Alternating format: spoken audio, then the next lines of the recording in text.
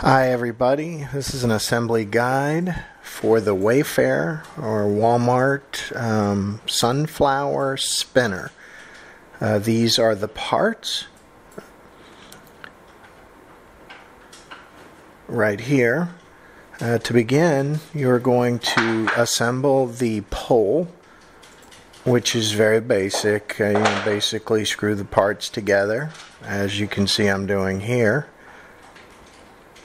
Um, this is really not the hard part. I mean, none of it's hard, but the instructions aren't terribly clear uh, when it comes to the flower itself, as you'll see. Uh, so here's the third part. Make sure the part of the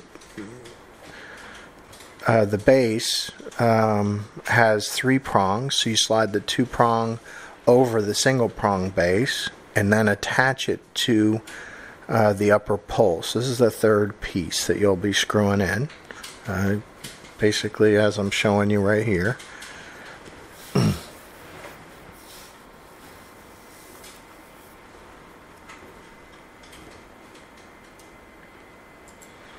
and there we go. So now um, the the flower part's uh, a little tricky. Make sure that the exposed bearings on the two flowers face each other.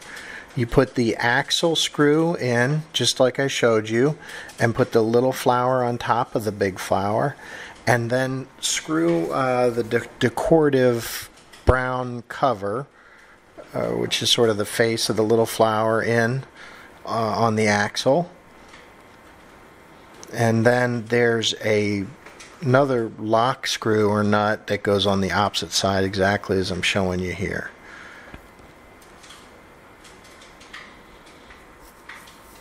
So you want to make sure though that the flowers, the exposed, you know, bearings are facing each other like that.